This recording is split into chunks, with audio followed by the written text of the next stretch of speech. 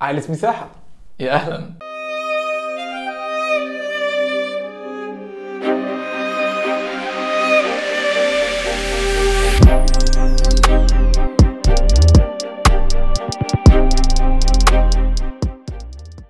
أنا متأكد أنك طرحت هذا السؤال من قبل في ذهنك. من أين جاء الإنترنت؟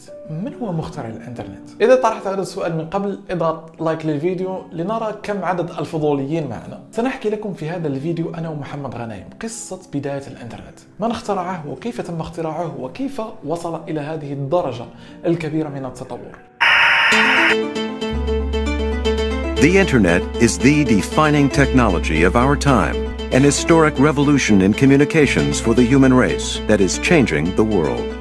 الإنترنت. الشيء الذي قد تبدو حياتنا بدونه الآن مستحيلة. وربما الأفضل ألا نتخيلها لأنها ستكون حياة العصر الحجري. الإنترنت أصبح أهم من النفط والغاز. كم من فقير أصبح مليارديرا بسبب الإنترنت كجيف بيزوس وجاك ما وإيلون ماسك وغيرهم الآلاف. وكل أغنياء العالم إذا تعمقت في البحث في قصص حياتهم ستجد أن الإنترنت هو أهم الأسباب في تكوين ثروتهم. ليس هذا فقط الإنترنت هو السبب في نشوب ثورات في الكثير من البلدان في العالم. الإنترنت هو السبب في تدمير دول بكاملها وبناء دول أخرى. وأنتم تعرفون هذا الأمر. السلام عليكم حياكم الله جميعا. لا أبالغ إطلاقا عندما أقول لكم الآن أن النظام العالمي سينهار في حال اختفى الإنترنت فقط.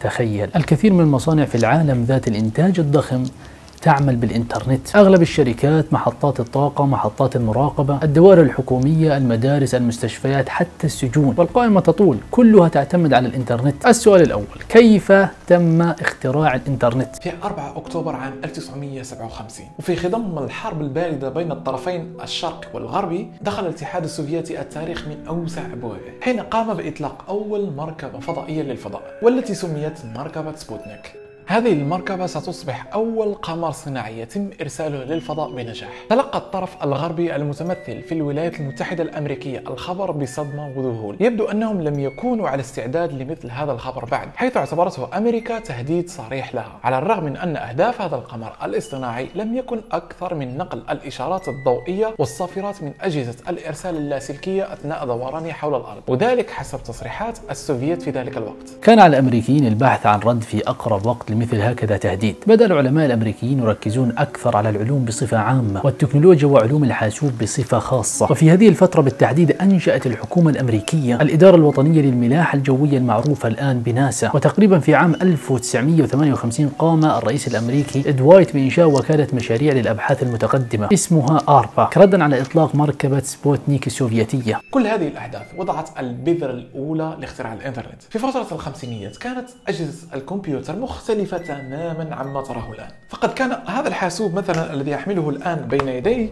MacBook Pro 2019 مواصفات هذا الحاسوب وقوته نفس المواصفات نفس القوة ونفس الميزات في تلك الفترة كان الحاسوب هو عبارة عن غرفة بكاملها يوازي هذا الحاسوب. ولكن الشيء السيء أنهم لم يمتلكوا وسيلة ليربطوا تلك الحواسيب مع بعضها البعض عن طريق شبكة خاصة. كان الأمر كأن ترسل رسالة مكتوبة باللغة اليونانية القديمة لشخص من الهنود الحمر. طبعا لن يفهم أي حرف مما كتب في الرسالة. وعليه فكروا في خلق لغة رقمية خاصة تسهل نقل البيانات بين الشبكات. في عام 1983 تم تقسيم هذا الاختراع إلى فرعين أساسيين. فرع عسكري أطلق عليه مايل نت والآخر مدني وسمي أربانيت وسمح للعامة من الشعب باستخدامه. وتنافست جميع الشركات العالمية على الحصول على هذه التقنية واستثمارها. وقد كانت مكلفة للغاية في الفترة الأولى لاستخدامها ولكنها بمرور الزمن أصبحت في متناول الجميع لأنها أصبحت عالمية ولا يحق لأحد بعينه احتكارها أو التحكم فيها. كانت أبرانيت هي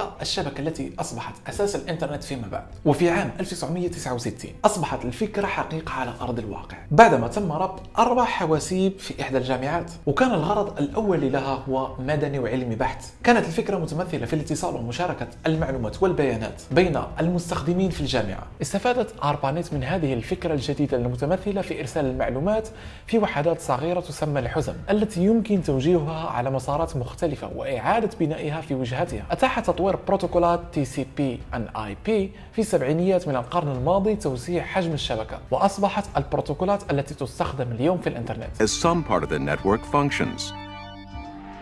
The telephone system, which relies on dedicated circuits, fails when circuits are broken. By 1962, there was enough research and theory to show that a viable computer network could be built. But implementing one had to wait seven years until 1969. كان هناك خوف وذعر منتشر من أن هجوما عسكريا على البلاد قد يؤدي لتضرر نظام الهاتف المكون من شبكة واسعة مترابطة من الأسلاك التي تتيح الاتصال عن بعد. في عام 1962 قام عالم من جامعة MIT واسمه جوزيف كارل روبنيت لكلايدر بإيجاد حل لهذه المشكلة العويصة. كان الحل في نظره أن يتم بناء شبكة من أجهزة الكمبيوتر التي يمكن أن تتواصل مع بعضها البعض حتى لو تضرر نظام الهاتف. على الرغم من أن لكلايدر ترك أربا قبل سنوات قليلة من إنشاء أربانيت. فقد أرست أفكاره ورؤيته الأساس ولبنات البناء لإنشاء الإنترنت الذي نعرفه الآن. So his notion was to pursue the creation of a network which would link heterogeneous computers to each other Uh, through this network. في عام 1965 قام لكلايدر بتطوير طريقة لإرسال المعلومات من جهاز كمبيوتر إلى آخر. أطلق عليها تبديل الحزم. تعمل هذه الطريقة على تحويل البيانات إلى حزم. حيث يمكن لكل حزمة بيانات أخذ طريقها الخاص من مكان إلى آخر. وعليه في 29 أكتوبر عام 1969 كان هذا اليوم هو شاهد على حدث تاريخي بامتياز حيث سلمت ARPANET رسالتها الأولى. وهذه الرسالة عبارة عن كلمة login أو تسجيل الدخول. وبالفعل وصلت هذه الرسالة إلى كمبيوتر في جامعة ستانفورد. لكن وصلت الرسالة بأول حرفين فقط من الكلمة وهما L و O. كانت كلمة واحدة وقصيرة فقط ولكنها قفزة نوعية وتاريخية للمستقبل. في السبعينيات وبالتحديد في عام 1973 بدأ العمل الجاد والذي لم يتوقف لإيجاد حل لربط أربانيت مع حزمة الشبكة اللاسلكية.